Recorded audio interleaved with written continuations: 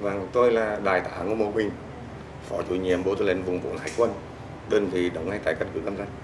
Vâng, à, trong cái đợt quyên góp vừa rồi của đồng bào người kiều bào người Việt tại Cộng hòa Liên bang Đức, ờ, xin anh cho biết đánh giá những cái kết quả mà số tiền đã quyên góp được của ban tổ chức quyên góp đã chuyển về Bộ Tư lệnh Quân. Anh có thể nói qua về kết quả của kiều bào Đức trong cái đợt vừa rồi không ạ?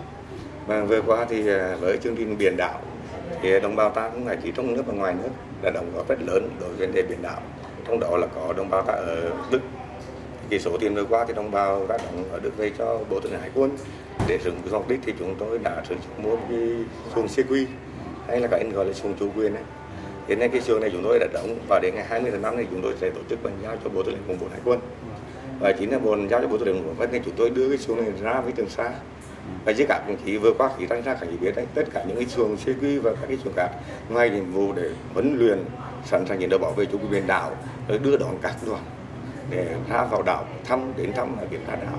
Đấy thì chúng rất hiệu quả và hai bên màn chuồng chúng tôi có ghi tất cả những nhà tài trợ hoặc những các cơ quan tổ chức cá nhân nào tài trợ chúng tôi ghi ở hai màn thuyền. Như chúng tôi ghi là những người đồng bào ta ở Đức tặng bộ đội cán bộ chiến sĩ trường xa.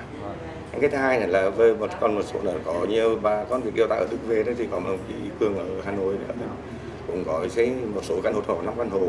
Mục đích của năm căn hộ này thì đồng chí rất tâm huyết là muốn cho con em cán bộ đang công tác tại trường sa khi mà thi đầu vào các cái trường đại học ở ngay thành phố Hà Nội thì được giúp đỡ để nơi ăn nghỉ để học tập trong thời gian học tập ở Hà Nội.